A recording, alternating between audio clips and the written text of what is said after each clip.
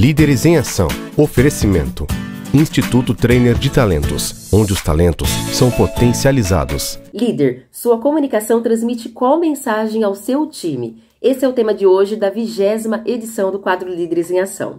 Trouxe essa abordagem porque comunicação é um dos temas que eu mais abordo. Sou apaixonado por comunicação e defendo que sim, a comunicação, quando bem realizada, ela gera excelentes resultados em vários contextos. E o contrário também é verdadeiro. Hoje nós utilizamos a comunicação a todo momento, né? Nós falamos até conosco que dirá com as outras pessoas que nós interagimos. Então, quando a gente vai fechar um negócio, uma parceria, quando nós vamos atender clientes que são diferentes, né? Cada um com seu perfil, eu entendo que eu tenho a minha maneira de ser, mas eu preciso me adequar, me comunicar de forma a me conectar com aquele cliente que tem aquela forma de ser.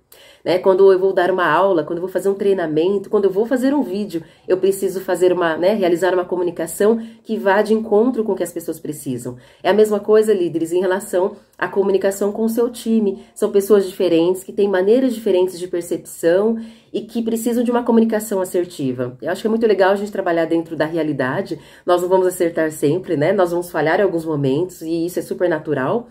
Somos vulneráveis, né? E, mas ao mesmo tempo é legal entender que a maior parte dos nossos resultados precisam ser assertivos, precisamos ter resultados. E eu parto do princípio de muitas coisas que chegam até mim através dos próprios líderes. Por exemplo, Juliane, eu crio um ambiente, né, de forma com que as pessoas possam chegar até mim e dizer o que pensam, darem ideias, mas isso não acontece. Por quê? Né, eles me questionam. Outros me dizem, Juliane, olha, eu tenho minha maneira de ser, mas as pessoas acham que eu sou bravo ou brava, mas eu não sou, mas acabam transmitindo isso. Como que eu trabalho de forma a melhorar essa imagem, transmitir aquilo que realmente eu sou? Né? Ou muitos que também se dizem, falam, nossa, realmente eu sou muito duro ou muito dura, como que eu posso trabalhar isso no dia a dia? E isso é muito bacana, né? Porque eles estão abertos a entender o porquê e saber que precisam melhorar em alguns aspectos, né? E, e aí o resultado é fantástico quando aplicado. E da mesma forma eu ouço as demandas dos liderados, né? Dos colaboradores, eles falam que muitas vezes gostariam de compartilhar ideias, opiniões, às vezes tem coisa que eles veem ali no dia a dia que pode funcionar ou algo que não está funcionando, mas eles ficam com receio de compartilhar, né, de como aquilo vai ser visto, ou se é alguma crítica ali, uma construtiva, né, algo para melhorar, que talvez isso possa não ser bem recebido, ou porque já demonstraram não ter, né, sido bem recebido. Então é muito interessante que essas demandas também chegam dos colaboradores, né?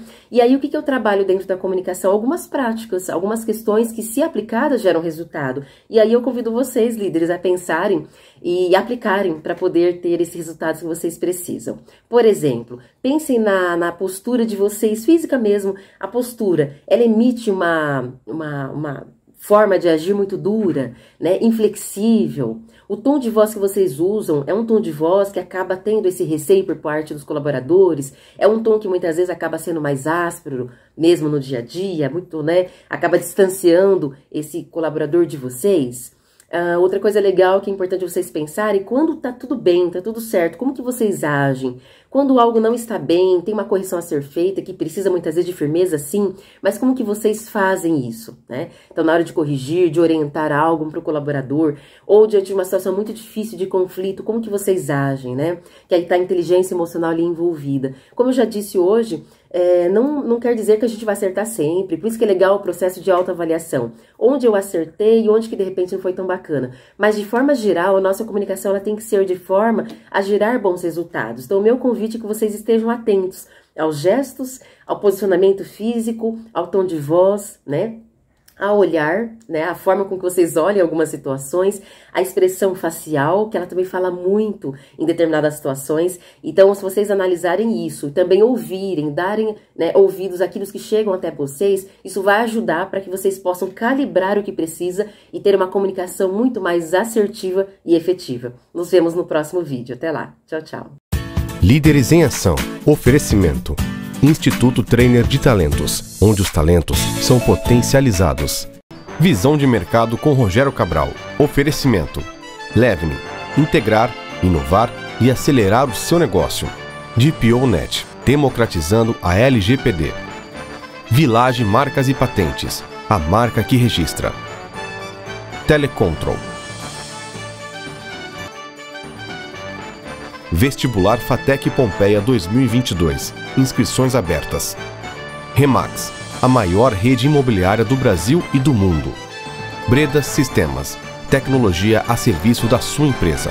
Unimed Marília, cuidar de você, esse é o plano. Colégio Cristo Rei, construindo o futuro.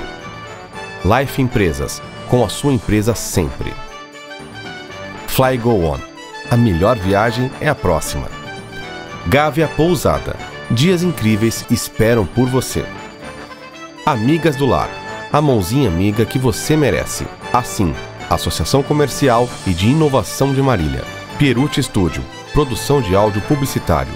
Ruberley Rocha Contábil. Grupo SM3, qualidade em mídia exterior.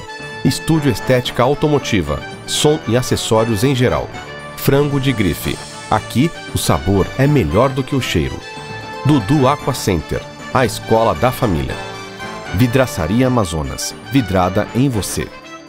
CIM Corretora de Seguros. Seguro só com corretor de seguros.